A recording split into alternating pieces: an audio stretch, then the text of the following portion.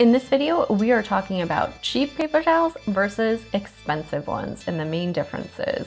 So obviously you can see roll size is always gonna be a thing. Cheap ones typically have smaller rolls. The more expensive ones, you're definitely getting more product. Uh, the other main thing would be the texture. These ones have a softer feel. I have really sensitive skin, so rough paper towels are the enemy. These ones definitely are thinner and the paper itself is coarser, right? So then we're gonna talk about absorbency. And to that end, I have got some blue water and I am just gonna pour a tablespoon on each. We're gonna talk a little bit and then we're gonna lift them up and see how much is left below right? So, just gonna go to town there.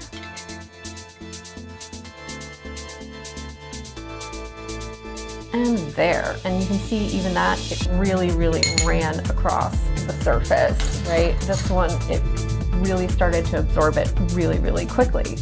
Um, we buy both just because these are great for bathrooms for the general public, also to have on hand as a backup sometimes when uh, the ones we normally order are out of stock.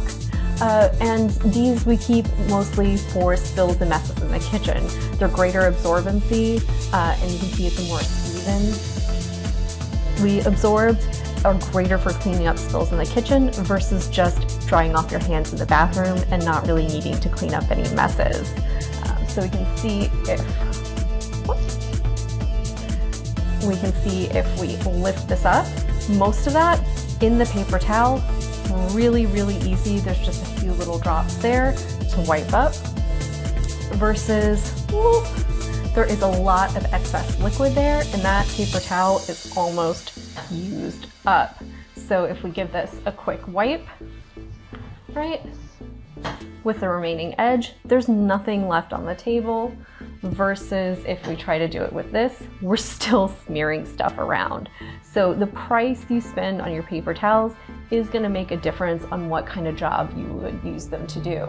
So in general, we keep the cheap ones in the bathroom for when people are just drying their hands, and the more expensive ones in the actual kitchen when we're cleaning up spills. This means we're kind of maximizing our usage. We're using less of the expensive one to clean up our messy, bigger messes, and we're keeping the cheap ones for when it only needs to dry a little water off of your hands. And we're kind of maximizing our budget that way and making sure that we're using them effectively.